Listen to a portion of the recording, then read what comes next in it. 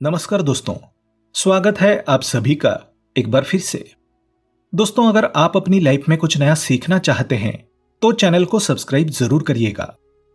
आप सभी दर्शकों को महाशिवरात्रि की बहुत सारी शुभकामनाएँ। भगवान शिव की अपार शक्ति और भक्ति का पर्व महाशिवरात्रि हर वर्ष फाल्गुन माह के कृष्ण पक्ष की चतुर्दशी तिथि को मनाया जाता है और इस बार गुरुवार 11 मार्च के दिन मनाई जाएगी। इस दिन भगवान शिव और माँ पार्वती की पूरे विधि विधान से पूजा करने का विधान है।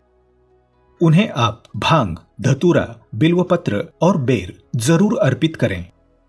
इस दिन धार्मिक अनुष्ठान किए जाते हैं, रुद्राभिषेक किए जाते हैं और महामृत्युंजय मंत्र का जप भी किया जाता है। मान्यता है कि इस दिन महामृत्युंजय मंत्र का जप करने से आपके स्वास्थ्य में कहीं कोई पीड़ा नहीं होती। बड़े से बड़े दुर्घटना योग भी टल जाते हैं। हमारी सभी मनोकामनाएँ पूर्ण हो जाती है।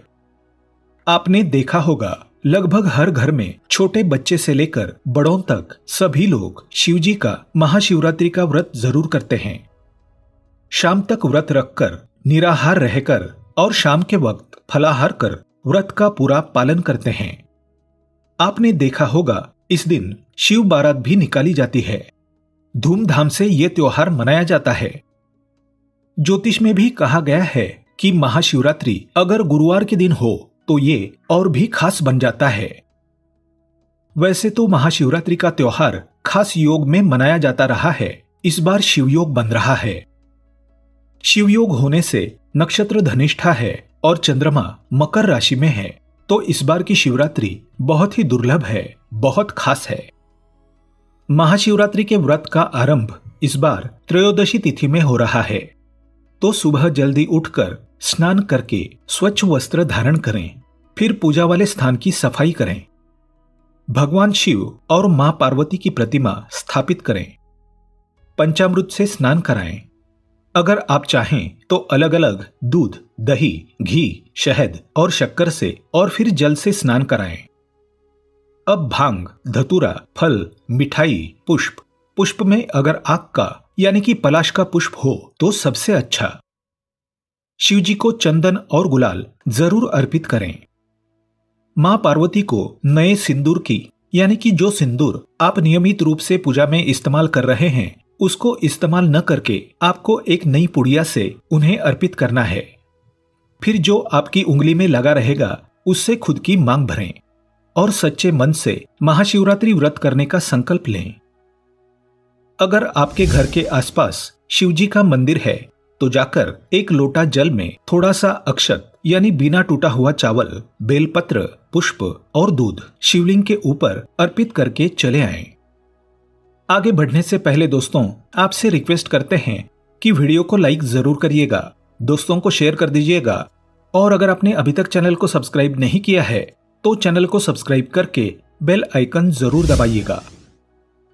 दोस्तों, इस बार महाशिवरात्रि प्रारंभ होगी 11 मार्च की दोपहर दो बजकर उनचालीस मिनट पर और चतुर्दशी तिथि समाप्त होगी 12 मार्च दोपहर बारह बजकर तेईस मिनट पर।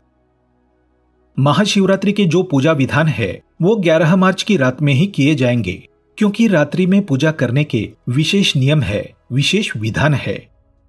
शिवजी की पूजा में अगर आप बेल का फल उन्हें अर्पित कर पाए तो ये सर्वोत्तम होगा। भगवान शिव की आराधना के लिए महाशिवरात्रि बहुत खास मानी जाती है।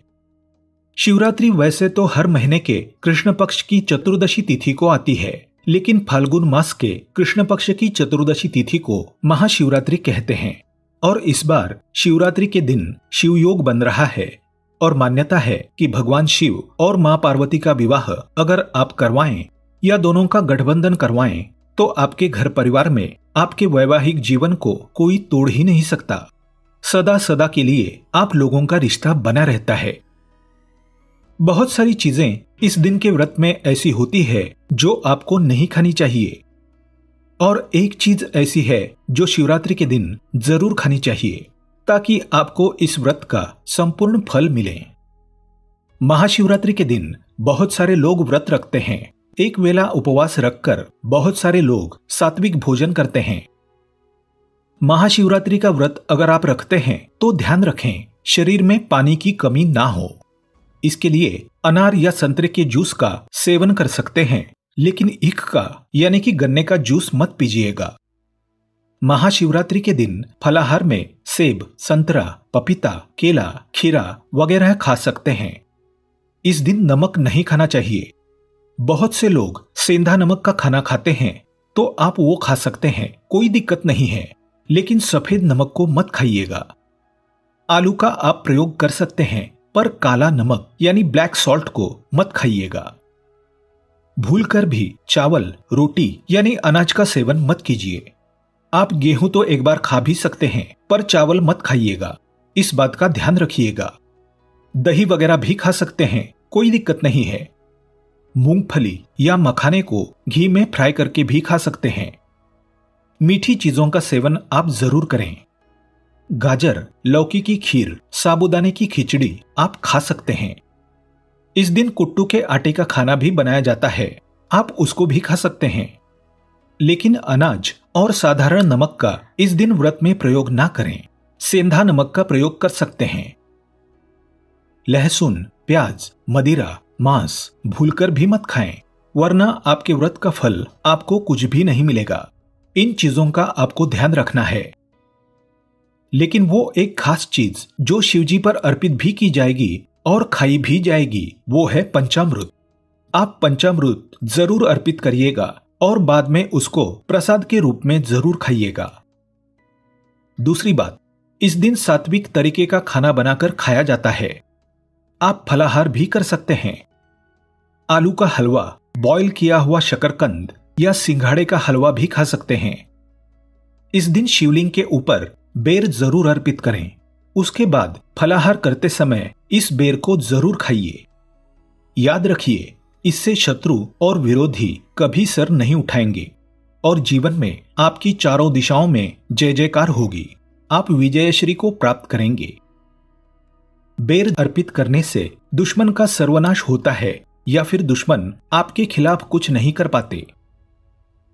शिवलिंग पर केला ज़रूर अर्पित कीजिएगा। गुरुवार का दिन है तो इस दिन केला मत खाइएगा। वैसे महाशिवरात्रि के दिन आप दूध का सेवन कर सकते हैं। लेकिन केवल दूध नहीं, उसमें दो चार चीनी के दाने डालकर ही सेवन कीजिएगा। केवल दूध कभी भी नहीं पीना चाहिए, व्रत त्योहार में तो भूलकर भी नहीं। दो चार दाने चीनी डाल दें, भले ही आप चीनी नहीं खाते हैं तो भी। इस तरह से आपका व्रत पूर्ण होगा और जब आप फलाहार करें तो उसमें दो तुलसी के पत्ते डाल दीजिएगा, ताकि आपके व्रत का फल आपको पूरा मिले। अगर आप भोले बाबा के भक्त हैं तो कमेंट में हर हर महादेव अवश्य लिखें। आज के लिए बस इतना ही। दोस्तों, अगर आपको यह वीडियो पसंद आया है तो वीडियो को लाइक करिएगा, दोस्तों को शेयर ज़रूर करिएगा, और चैनल को सब्सक्राइब करके बेल आइकन ज़रूर दबाइएगा, ताकि आने वाला नॉलेजेबल वीडियो आपको सबसे पहले मिले। दोस्तों, मिलते हैं अगले वीडियो में। तब तक के लिए goodbye and thanks for watching my video